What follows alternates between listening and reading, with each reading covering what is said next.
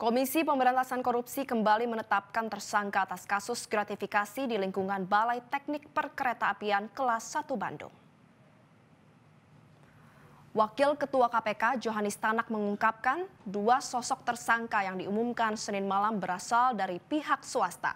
Johanis menyebut tersangka tersebut yakni AD selaku Direktur PT BKU dan ZF selaku Direktur PT BKS.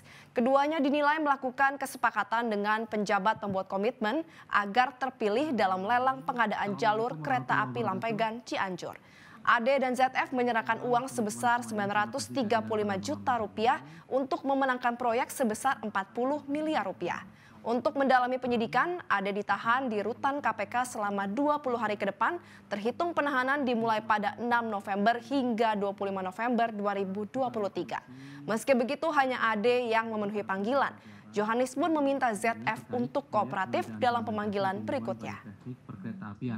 Nah, khusus malam hari ini untuk proyek perketapian terjadi kesepakatan antara AD dan ZH dengan SPH agar dimenangkan dengan adanya pemberian sejumlah uang.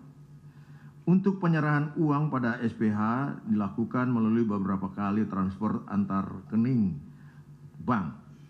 Besaran uang yang diserahkan AD dan ZH sejumlah sekitar 935 juta rupiah dan tim penyidik masih akan terus melakukan pendalaman. Jelajahi cara baru mendapatkan informasi. Download Metro TV Extend sekarang.